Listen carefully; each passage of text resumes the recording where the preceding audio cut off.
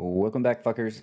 All right, today we're going to run through the latest edition of DCS Liberation version 2.2.0. So a, few things have changed, a lot of things have changed, but we're going to go through pretty much the same stuff that we did before. And I'm thinking that uh, once I finish explaining how all this stuff works, I'm going to do a kind of a single player YouTube campaign where I use AI aircraft as best I can and I do my best to fly by myself without anyone else helping me.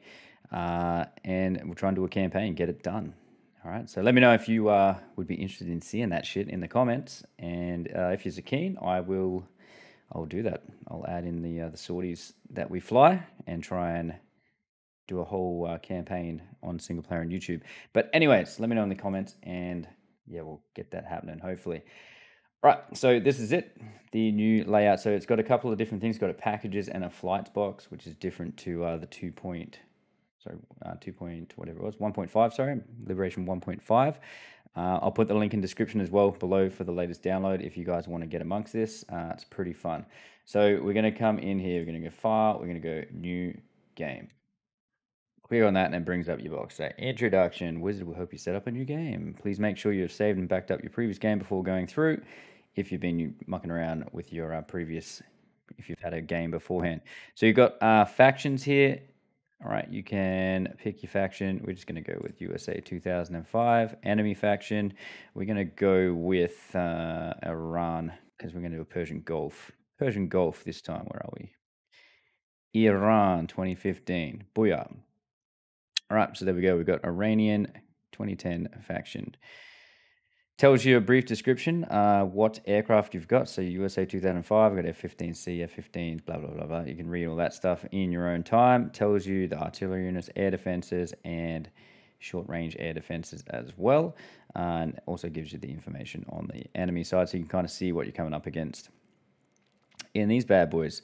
All right, we're going to go next, and now we're going to choose our map. So there is the option now to you can make your own maps. I'm not sure how to do that. I'll look into that, and if it's not too technical, I'll uh, I'll try and bang a video out of that as well. But I have not looked at it. So you can get custom uh, campaign maps, I guess, or you can make your own. But how you do that is beyond me at this point.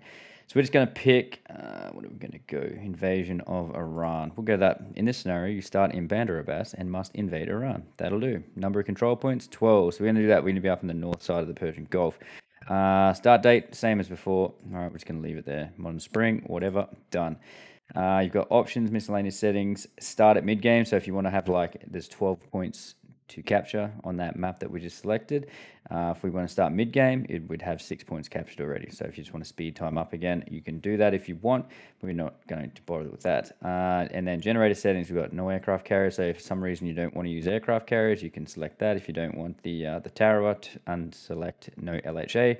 If you want to use a super carrier, select the box click it. If you don't want to use a super carrier because you don't have it or you don't like it, just uncheck it. And then you can uh, uh also have no player navy or no enemy navy. So a new thing here, you've got a economy starting money. So uh, default 650 million. This is million, not 650 dollars. 650 million dollars you start with, and you can slide it up as much or as little as you want. So we're just going to leave that at 650. All right, because that's a default. That'll do. And then you just say, that, click finish, boom. It'll do its thing. Takes a little while to generate. There we go. And here is our map. So there we go. We've got our Bandar Abbas. We've got Havadarya as our two bases. We've got Qeshm as well uh, as an airfield we can take. And we've also got Khasab and El Raz. Okay, we've got our Stennis or the uh, the supercarrier module up there. We've also got the Tarawa down to the south.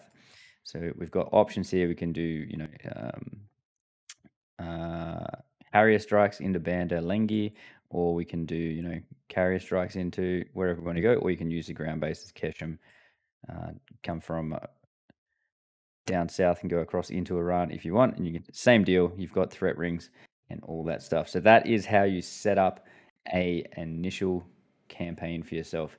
And uh, we'll go through the differences on the next video on how to do a or set up your first turn like we did previous and we'll just go through all the little changes that have happened since uh, 1.5. Righto, boys. Hope you liked it. If you did, make sure you hit the like button and let me know on the video that you did. And also in the comments, drop a, uh, if you want to see a campaign, single player campaign, I'll just do like a sortie by sortie kind of uh, mission um, thinking. So it's not too long. And I'll try and explain what I'm doing as well uh, to you guys while I'm flying the mission, not just uh, sitting there mute doing my own thing. I'll try and explain my thought processes on things. If you want to see that, let me know in the comments.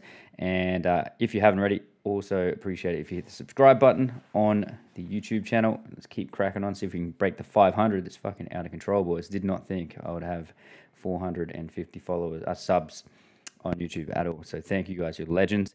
And uh, lastly but not least, I do stream on Twitch Monday to Friday at 1300 Australian Western Standard Time. So drop on in, say good day, and if you've got any questions, you can ask live on stream. We'll do our best to uh, nut it out and get you pointed in the right direction so you can do whatever you want to do, blow some stuff up, or even come for a fly with us. All right, boys, catch you fuckers on the next one.